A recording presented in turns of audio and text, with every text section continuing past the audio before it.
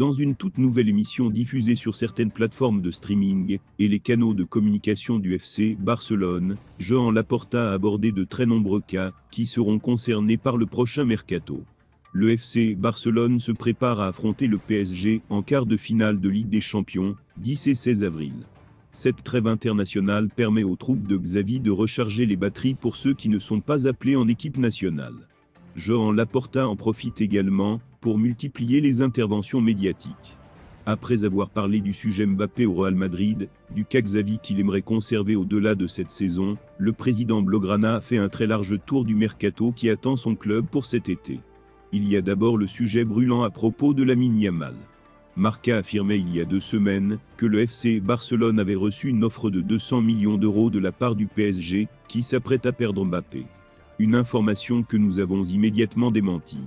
Le club de la capitale travaille d'autres pistes.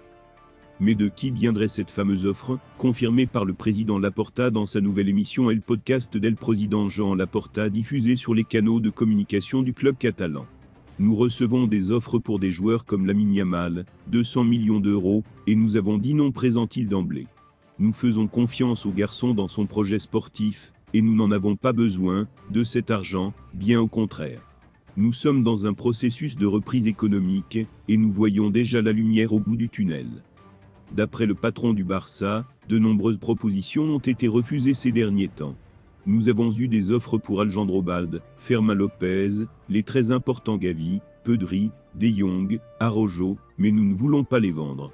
Seulement avec cela, je vous le dis, nous serions à un milliard d'euros, martèle-t-il tout en ouvrant la porte aux mécontents, ceux qui estiment être en manque de temps de jeu. En matière de recrutement, le Barça ne fera pas de folie non plus. La priorité sera donnée aux jeunes de la Masia capables de prendre une place dans l'effectif. Il faudra en revanche sortir le portefeuille pour les deux Joao, Cancelo et Félix, tous les deux prêtés respectivement par Manchester City et l'Atlético de Madrid. Nous sommes prêts à ce qu'ils continuent, soit par le biais d'un transfert, soit aux mêmes conditions actuelles. Leurs cas sont assez similaires, mais Cancelo est bien plus avancé, en ce qui concerne un tarif définitif. Pour le meneur de jeu, les négociations se poursuivent.